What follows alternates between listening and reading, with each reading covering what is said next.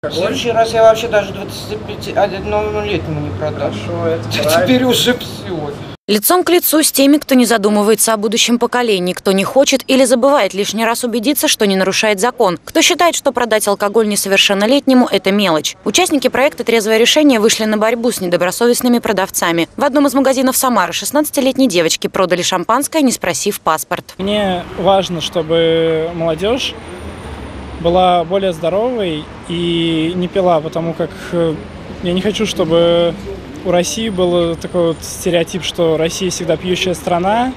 Как бы вот именно поэтому я борюсь с этим, с алкоголизмом, а так как э, молодежь – это наше будущее, поэтому надо начинать с молодежи. Более 40 тысяч неравнодушных студентов из 13 вузов Самарской области входят в Ассоциацию профсоюзных организаций. Самые активные принимают участие в проекте «Трезвое решение». Он реализуется уже четвертый год при поддержке Департамента культуры, туризма и молодежной политики. Результаты уже есть. В 70% случаев э, алкоголь несовершеннолетним продается.